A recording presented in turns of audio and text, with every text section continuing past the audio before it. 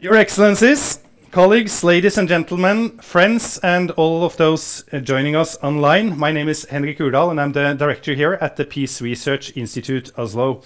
It is my great pleasure to welcome you to our headquarters in Oslo and to this opening event of the PRIO AI Days 2024. PRIO is an independent, international, and interdisciplinary research uh, institute specializing in peace and conflict research. In our role as a research institution, our primary contribution is the production of rigorous academic analysis. However, our aim is that this effort shall have an impact beyond academia, facilitating knowledge-based policymaking grounded in information, analysis, and facts. The purpose of the PRIO AI Days is to shed light on applications of artificial intelligence in areas relevant to peace and conflict, with research-based approaches informing and engaging a broad set of audiences. This is the first of a total of seven events over these two days, illustrating both the breadth of PRIO engagement on the topic of artificial intelligence and our commitment to engage with stakeholders outside academia. I am very pleased to introduce the keynote lecturer of the PRIO AI Days, Branka Panic, who will speak on the topic of AI and peace Branka is the founder and executive director of AI for Peace, a US based think tank working to ensure that artificial intelligence benefits peace, security, and sustainable development. A key ambition is that diverse voices should influence the creation of AI and related technologies. Branka is a political scientist, expert in international security, international development policy, and peace building, and she has established herself as a leading international authority on these critical issues. Following the keynote, uh, time permitting, there will be possibilities for uh, Q&A, so please think about good questions to ask Branka. And I would further uh, like to inform you that this event is being live streamed on PRIO's YouTube channel, and a recording will be made publicly uh, available after the event. And then, Branka, the floor is yours. Thank you so much for this nice introduction and welcome to PRIO AI Days. How are you this morning? I see a full room ready for a, some very intense conversation on AI, which I uh, hope uh, and please give me a signal if I'm over the time. So I'm really looking forward to doing a little bit of teaser around the uh, discussion around artificial intelligence and AI, and then having a space to, to have a conversation. So as I was kindly introduced, my name is Branka panic in my language, in English, uh, it, it's a very, uh, uh, I don't know, ridiculous sounding panic. But my colleagues told me it's a very useful surname to have when you're working in artificial intelligence and peace building today. So I'm embracing it. Um, I'm a founder and executive director of AI for Peace, a think tank working at the intersection of artificial intelligence and AI. I'm also a non-resident uh, research fellow at New York University Center on International Co uh, Where I'm uh, doing the work on data for peace building and prevention. Um, I'm also a professor of practice, teaching one semester at the University uh, of North Carolina to practitioners in peace building. Um, and I'm a senior advisor on AI at the German Federal Foreign Office uh, Data Innovation Lab.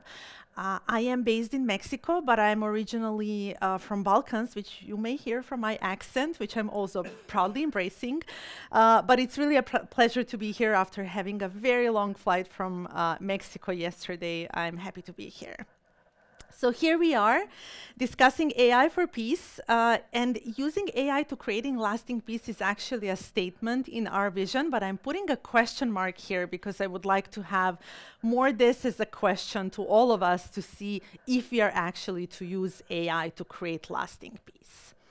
So I want to start with this big AI, this artificial intelligence, where when we were starting like uh, around 10 years ago, I was living in San Francisco, and it was a hype around AI, but mostly in the Silicon Valley, right? Or big universities that actually had capacity to do the, this research or big governments and people were talking about this, this single biggest technology revolution the world has ever seen or I'll be sharing some of my favorite quotes here just to show the, the size of the hype.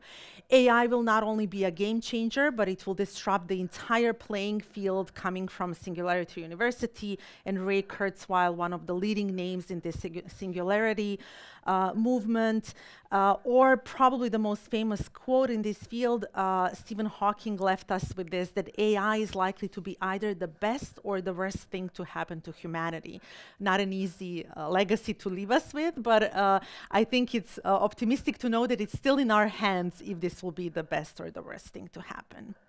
So what is actually happening beyond the hype, right? 10 years after, um, the, the AI is not only in big universities and big governments, it's actually becoming part of all of the industries and fields.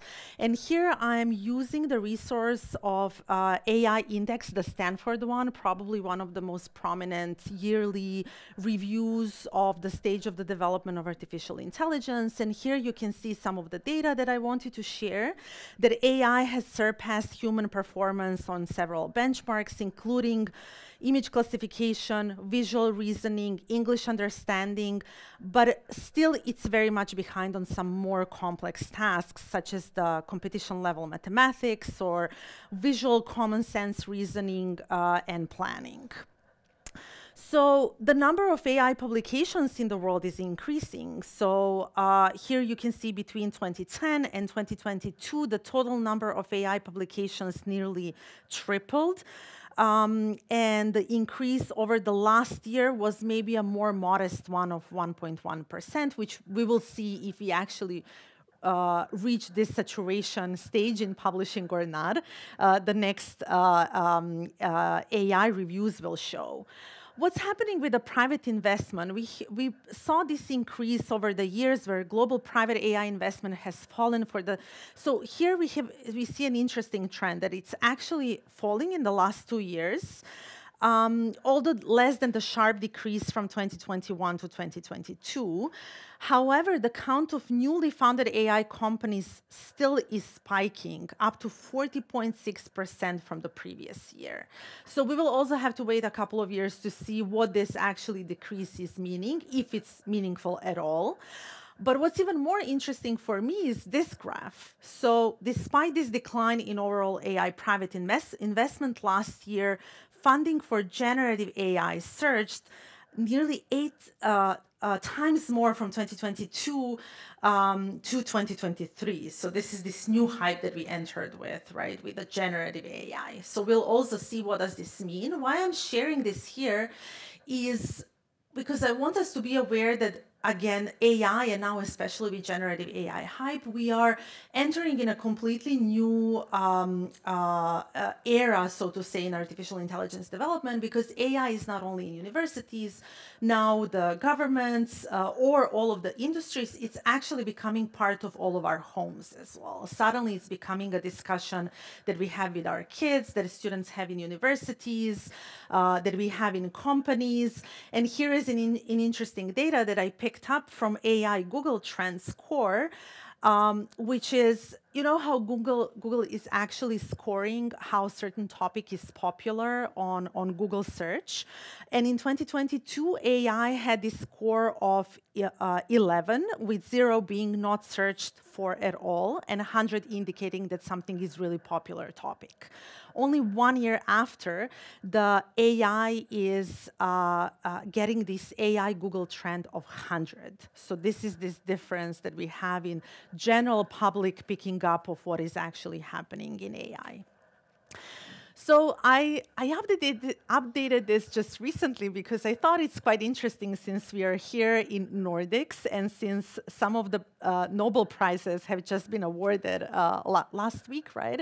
Or several days ago, uh, just to share that AI reached Nobel as well. So John Hopfield and Geoffrey Hinton uh, were awarded a Nobel Prize in Physics for 2024 for foundational discoveries and inventions that enable machine learning with artificial artificial intelligence neural networks. And Geoffrey Hinton is uh, if you were following this entire, uh, I mean, he's in news all the time. Since he left Google, he wanted to have this more independent voice in the field to speak more independently. He's the so-called godfather of AI.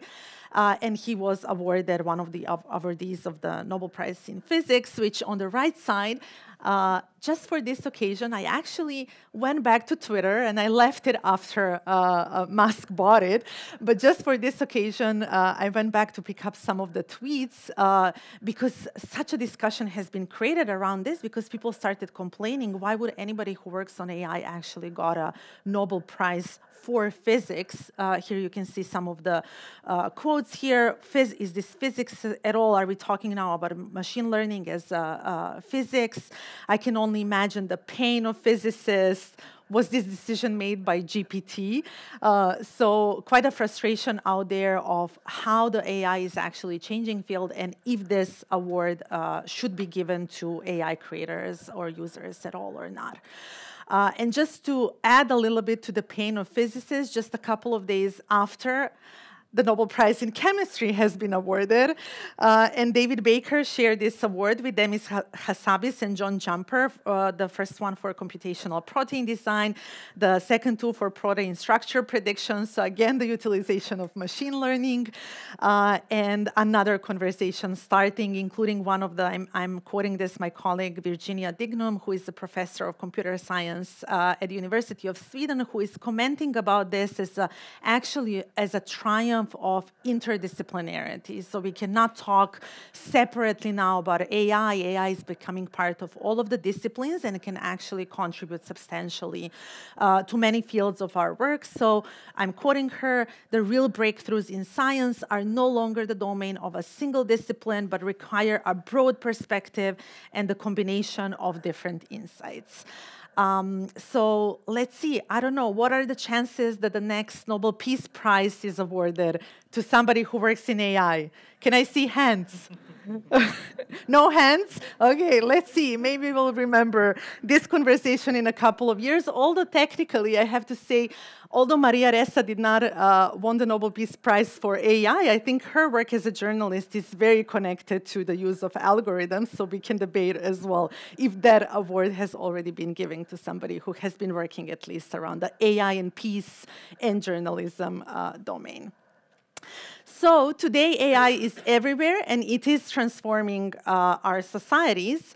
Um, another interesting moment uh, um, around GPT-3, uh, OpenAI's uh, language generator, the, the one edition before uh, GPT-4, um, got an assignment. This was just an experiment by professionals in the field to test how actually model response questions regarding the peace building. The model was asked if AI is actually coming uh, uh, in peace. Uh, and uh, I guess ChatGPT is also loving the quotes of Stephen Hawking as, as I do. So this was the quote from the model that Stephen Hawking has warned that the AI could spell the end of the human race. I'm here to convince you not to worry. AI will not destroy humans, believe me. And I love this framing of believe me because I think we will be talking a lot about trustworthy AI as well uh, and the entire ethics field. So I'm putting this intentionally here as a sort of a teaser for some of the panels that will be coming uh, throughout the next two days. Um, no matter what uh, AI told us not to worry, a lot of people started worrying. And this is, again, uh, the media started being overwhelmed, especially after the uh, generative AI uh, revolution started with these news about how AI can destroy humanity, that AI uh, has much to offer, but it could also wreak terrible harm, that it must be controlled. A quote from one of the most prominent figures as well in the AI field, Stuart Russell that AI could wipe out humanity. Some of the biggest names in technology war, warn developments in AI could spell the end of humanity. So you see the, the trend, talking a lot about existential risks and huge risks to even uh, survival of human race coming from uh, artificial intelligence. Uh, following this one, one of my favorite uh, quotes, I think, coming from the um, time of the pandemic from one of the researchers in tr Trustworthy AI, Roman Yampolskiy, computer scientist who said, if a virus with IQ level zero can make this damage, referring to COVID, right? imagine what a virus with a level intelligence 1000 can do. Um, and then um, if this is a hype or not, we, we will see as well, the future will show. Uh, but another name in this field, Joshua Bengio, who is a professor uh, and AI researcher in, at University of Montreal, also uh, uh following this uh, uh, line of, of questioning, saying today's systems are not anywhere close to posing an, an, existential threat today, right? But in one to five years, there is too much uncertainty. That is the issue. We are not sure this won't pass some point where things get catastrophic. So even from people who are deeply in the field, this sort of uh, insights are coming uh, to the surface. Uh, now, two quick quotes. I had to put this here um, uh, from two uh, pr prominent researchers in, in generative AI field. Um, uh, one coming from Sam Altman, uh, who I quote, is saying that AI systems that can do any task a human can will be developed in reasonably close-ish future, which I think is uh, uh, quite a funny quote to have. Uh, and then completely different line of thinking, right, from, from people in the field, um, such as the one from Yann LeCun, the chief uh, AI scientist at, at Facebook, uh, who says, I quote, human level AI systems are going to take a long time uh, to actually be developed. So long story short, there are two lines of thought, um, and we will see actually in which direction the field uh, goes. Uh, now, what I also want to stress, also, although I was quoting a lot of uh, uh, uh, men researchers in the field, I also want to point out that maybe not accidentally, there are a lot of women as well who are in the field and who want to point out that instead of putting so much emphasis on existential risks, on something that can come long time in the future or maybe never.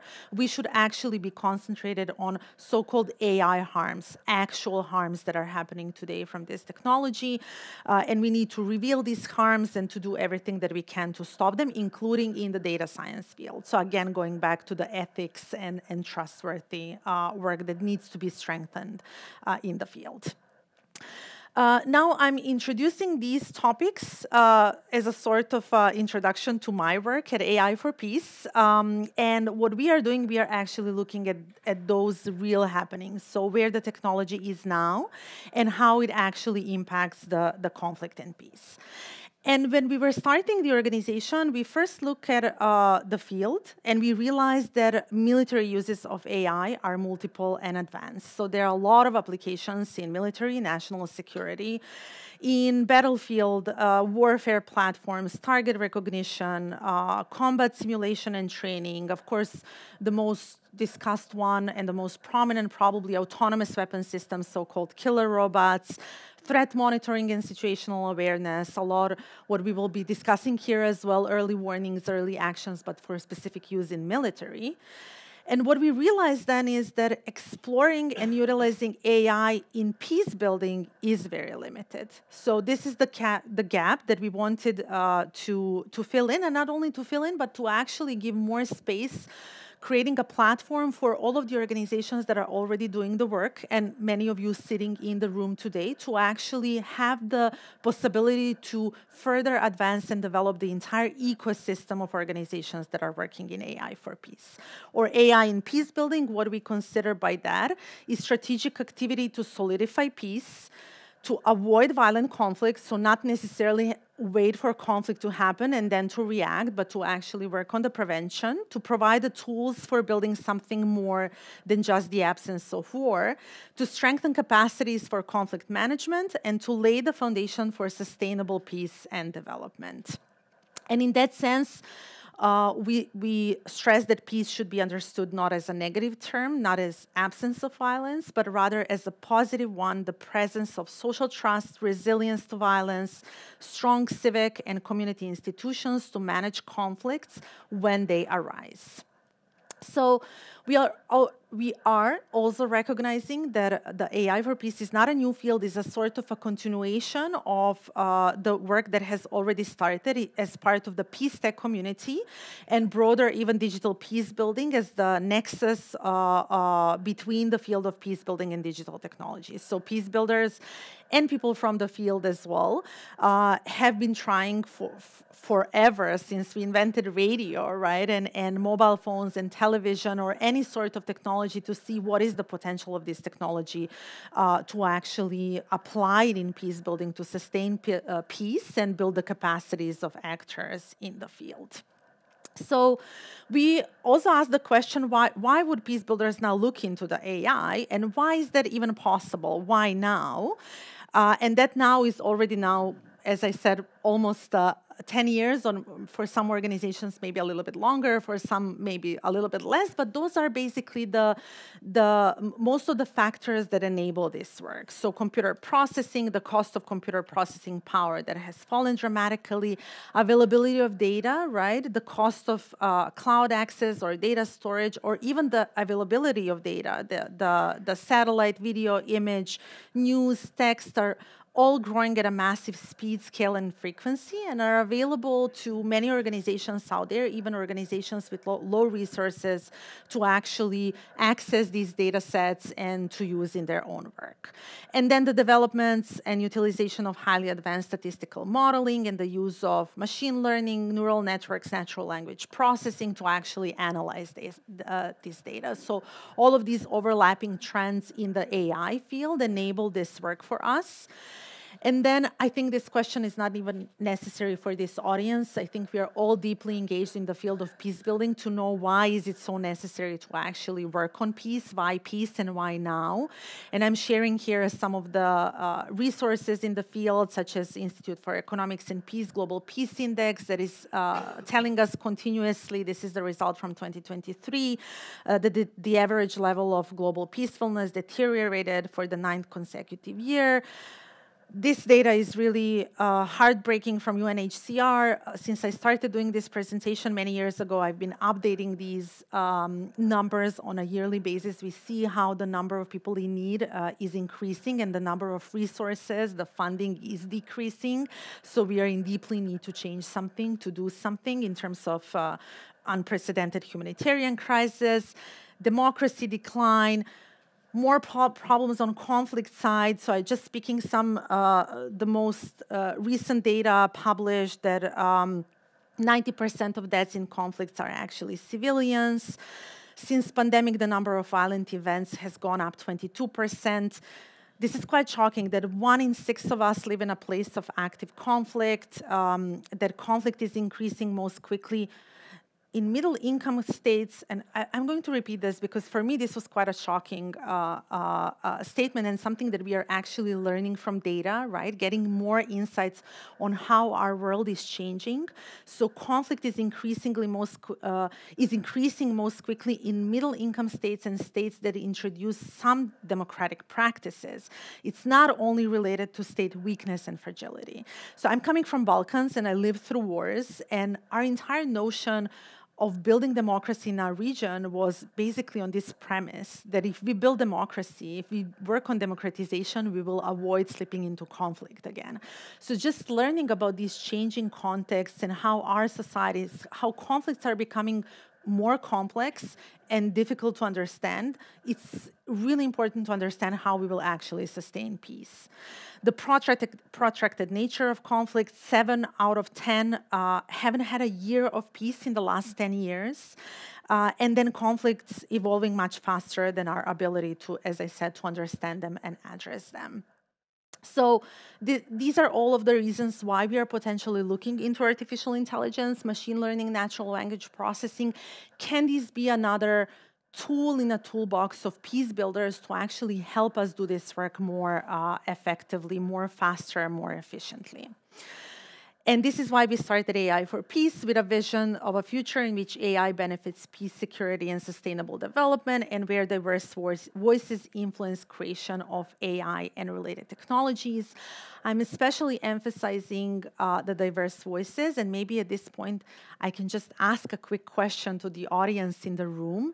Uh, how many people are actually coming from conflict areas here who have lived experience of conflict? Okay, thank you for sharing. Uh, how many people worked in conflict areas? And so maybe for the online audience, I will say the first question was maybe two people. Now we have maybe five people in the room. And how many people work on conflict or consider themselves experts either in data and peace building? I assume now everybody will raise the, the hand in the room. So this is the idea of actually us bringing other voices to the room as well, including those who have lived experience uh, in conflict or those who have expertise either on peace building or data uh, science side. Because I already heard uh, uh, before we started the day today that some people find maybe that they're not belonging to the room, right? If we talk about data science peace builders feel maybe they're not part of the conversation or the other way around. And this is our perception that basically this work cannot be done if you're not uh, all working together uh, on this and bringing these diverse experiences to the table.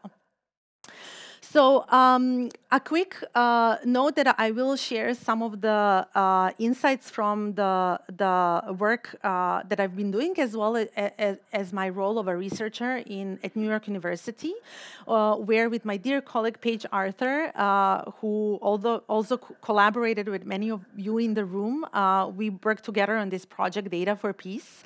to map the entire ecosystem, the entire, at least we started mapping the ecosystem of organizations who are using technology uh, in peace building and then uh, worked on capacity building for different organizations in this space.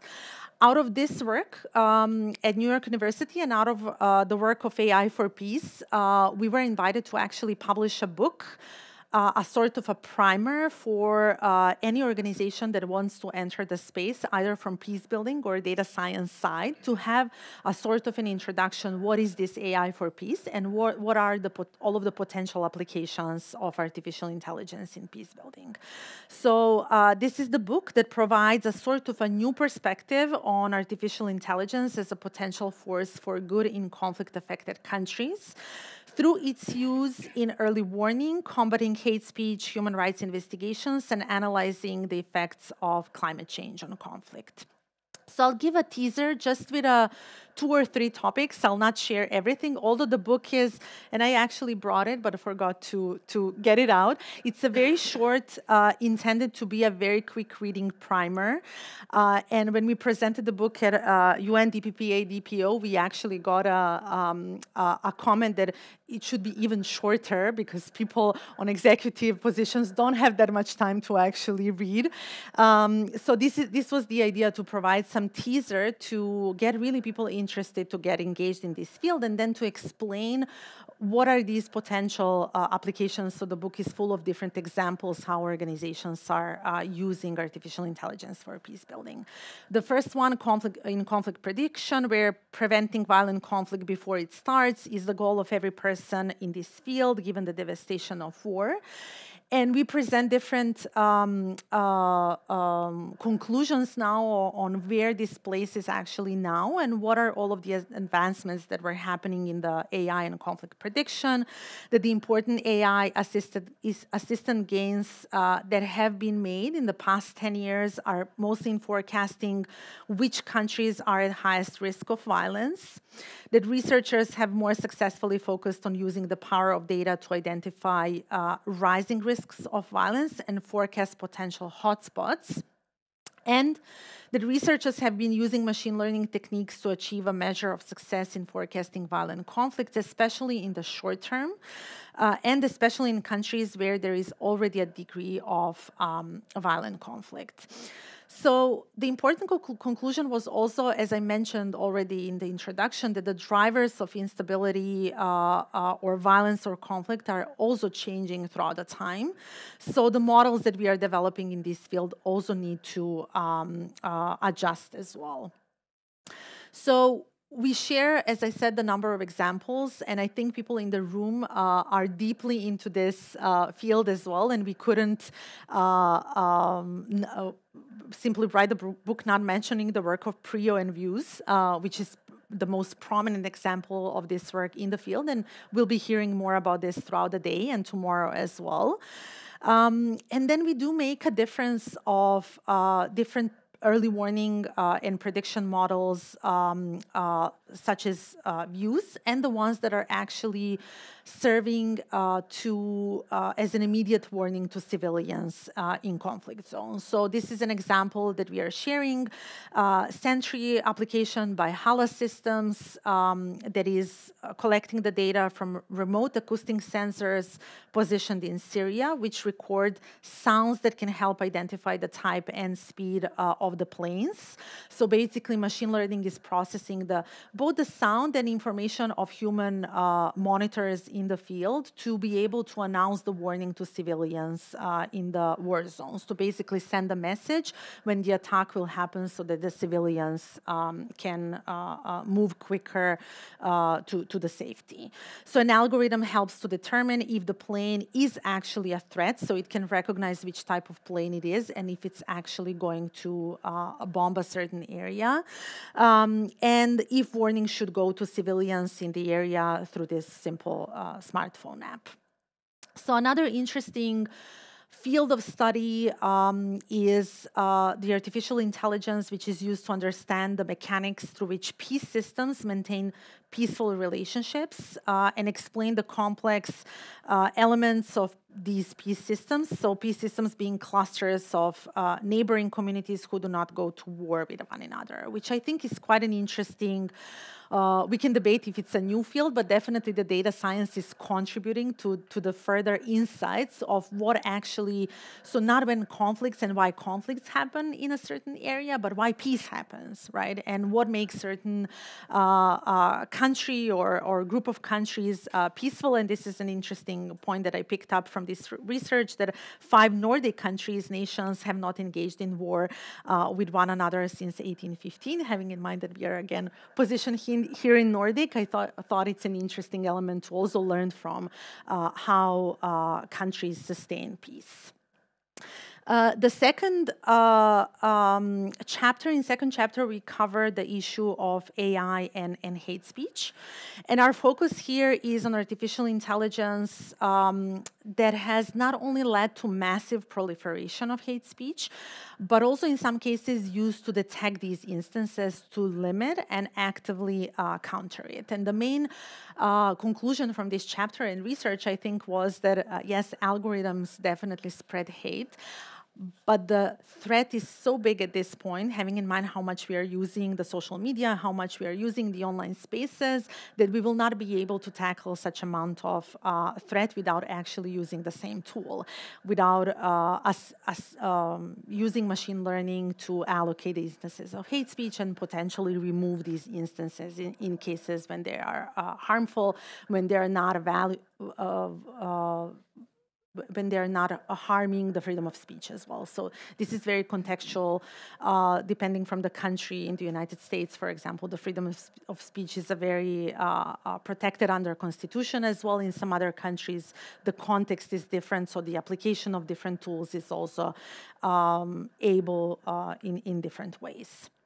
So we start the chapter with uh, genocide in Rwanda, and um, this year, 2024, we marked the 30 uh, anniversary as well, uh, unfortunately, of this huge crime. And we could have, we mentioned other uh, crimes of genocide in my own region as well, in Srebrenica, in Bosnia, just mentioning how hate speech and hate crime is not a new thing and how the communities were dealing with this problem for, for a long, long time. However, in digital space, uh, the, the speed uh, and, and scale of spreading the hate speech is something different and something that we still need to figure out how to cope with.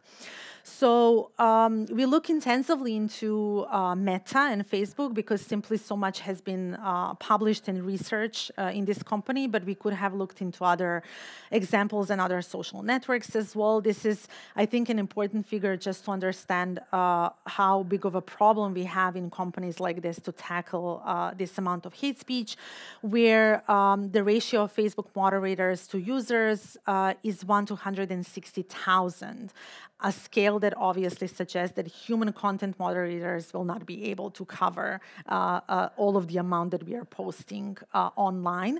When we add to that this the amount of misinformation and disinformation and hate speech, so those are all different categories but can be equally uh, harmful, uh, we have a big problem uh, to tackle. So additionally, uh, when we interviewed and we worked, we worked on our own projects as well. So we developed different machine learning systems at AI for Peace and New York University to actually detect the instances of hate speech. We worked specifically, the latest uh, project was in Sri Lanka, in conflict communities there. And then working with people from the field uh, who actually experienced the conflicts, who were uh, our uh, data labelers in this case. So they were collecting instances of of hate speech from social media, we realize how this work is also harmful uh, for their own psychological health. So this is another, because they're being re-traumatized reading these instances over and over again that are actually targeting themselves and their own communities. So having this uh, uh, on our mind as well, we see the potential benefits of technology being helpful and reducing some amount of this work of human monitors uh, and putting in putting it in the hands of uh, uh, machine learning where we train, of course, the systems in a proper way to, to be able to do this.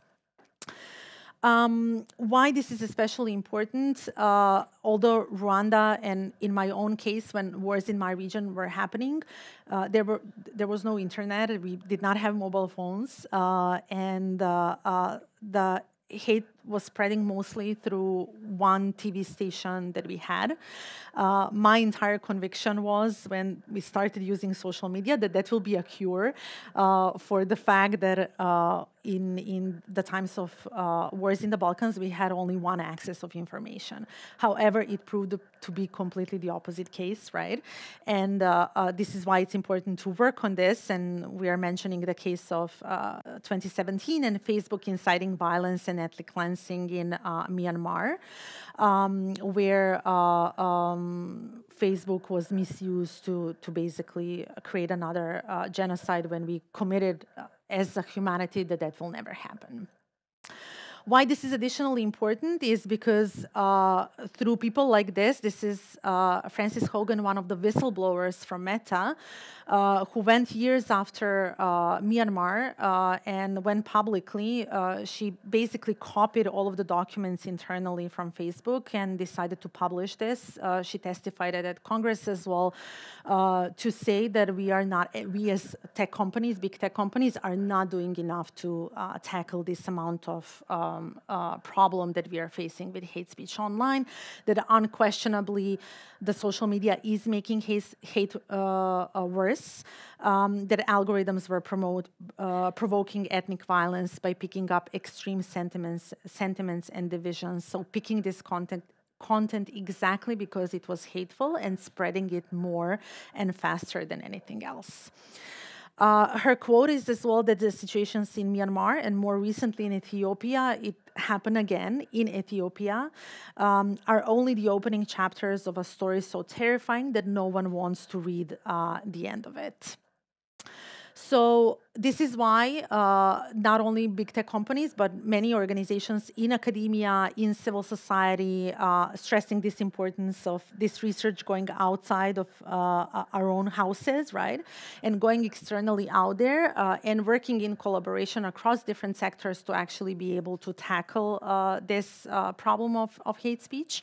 however, we in the book allocate a lot of technical problems and societal problems in uh, doing this correctly. And he, here is uh, a list of some of these, such as contextual uh, uh, nature of the hate speech, that sometimes it's very difficult for these systems to actually be trained to recognize when something is a real hate speech and something is quote of a hate speech, when we are retelling that something happened, when we want, want to point out uh, that a situation, a harmful situation is happening in a certain region.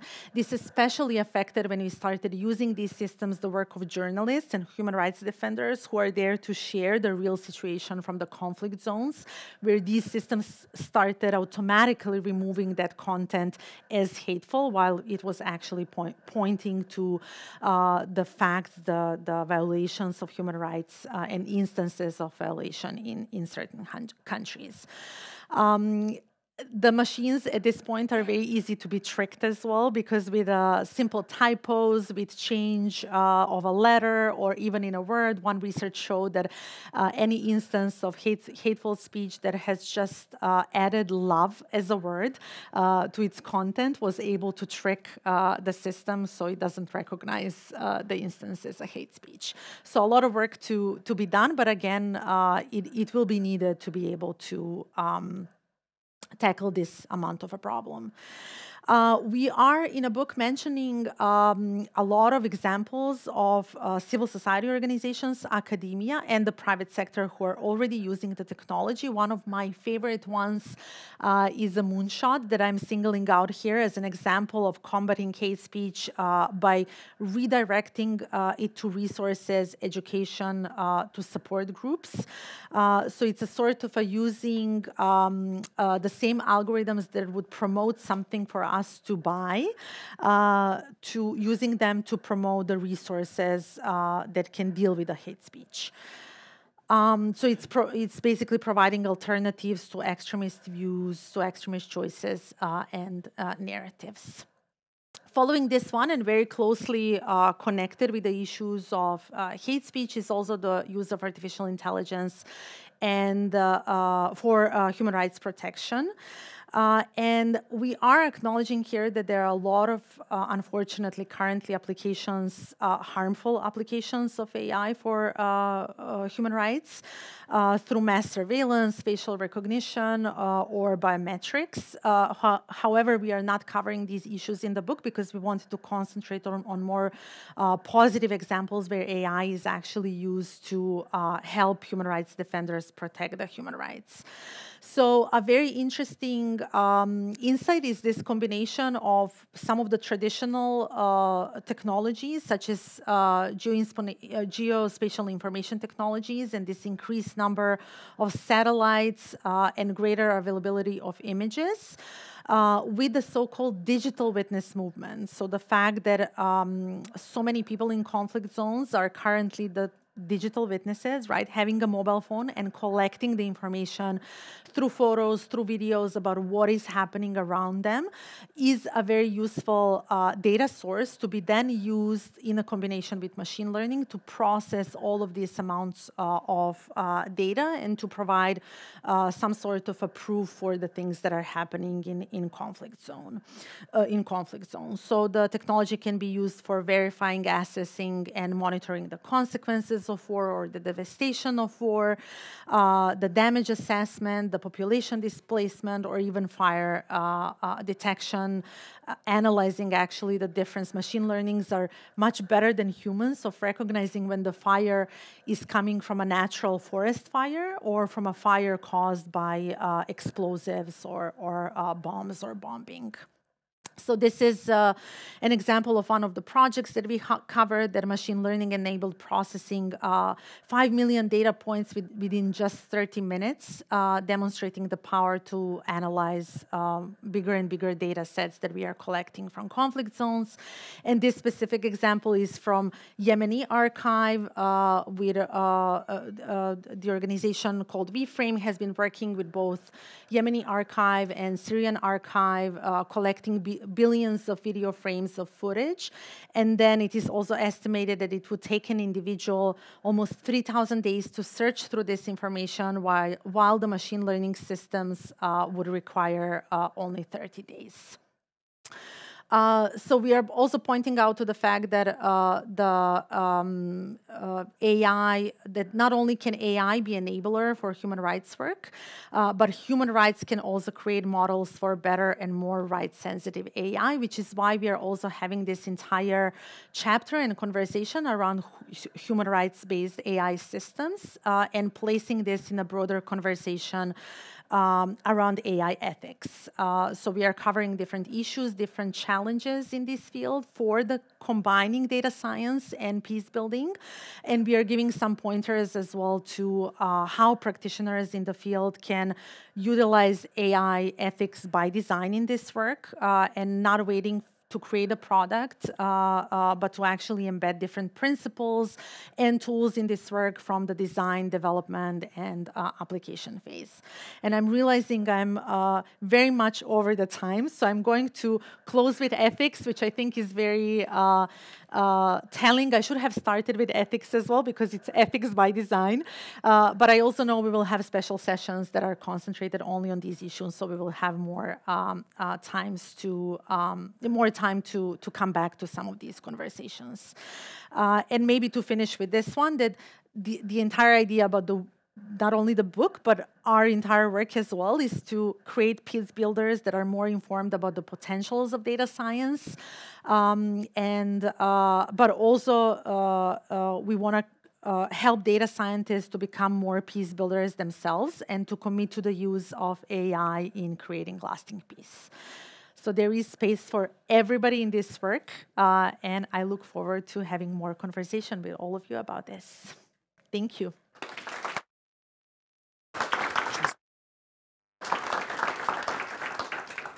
Take that chair. Uh, I think we we are uh, roughly on time now, but uh, but if uh, if I we may be allowed to spend a few minutes uh, for a conversation and when we can have a break because there is, as you said, Branka, uh, a number of, of follow-up panels and and this was a fabulous setting for these panels because I think you covered sort of a broad set of topics that is precisely what we want to try to achieve with the with the PRIO AI days. and I'll open up for a few questions sort of in a in a in a second.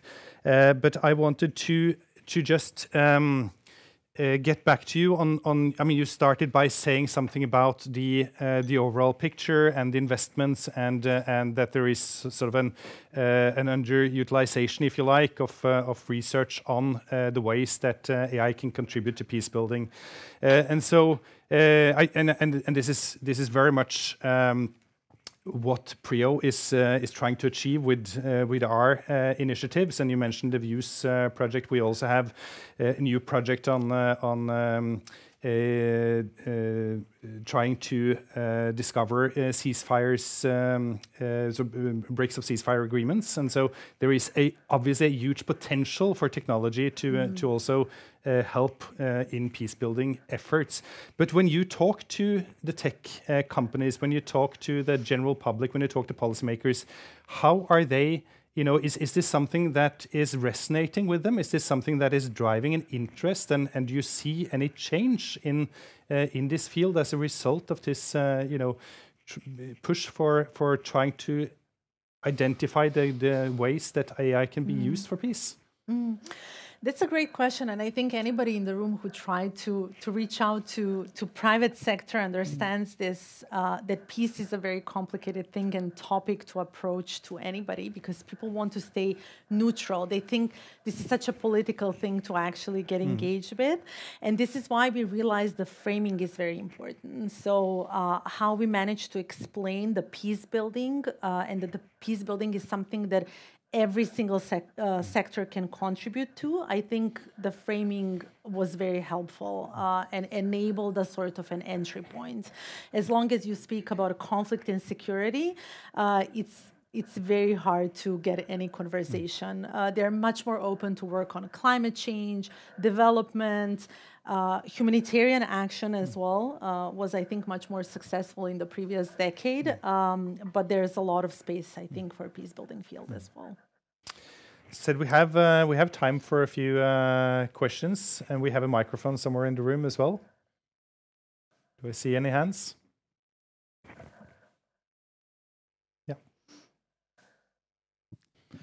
Uh, hi, uh, I work with uh, comedy and human rights, and I wanted to ask you C about. could you also, pl sorry, please introdu uh, introduce yourself? Yes, my name is Adrian Minkovics. I'm finishing a master's in human rights at UIO. I'm a writer, and I also work with comedy and human rights.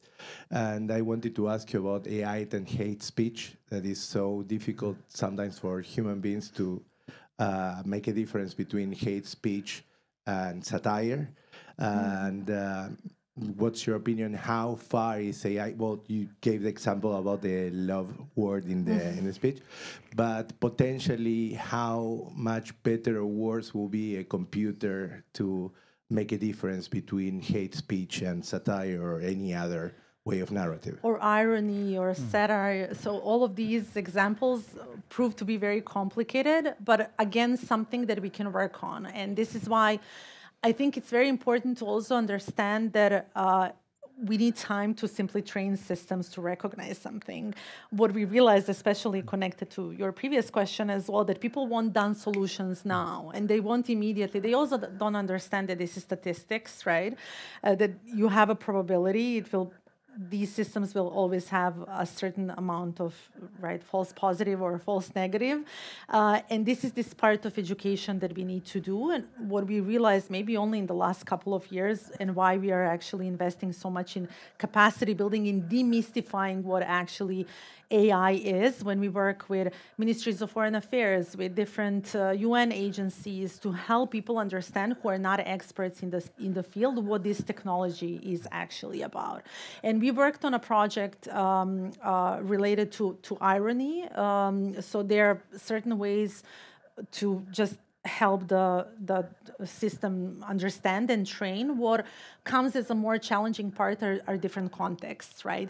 Because you cannot train the system to understand every context in the same way and what we consider as irony in the balkans for example will not be the same how it's considered in other contexts or countries. So those are these nuances um, uh, that are very specific to hate speech uh, and and that we simply need to figure out and invest more in every single context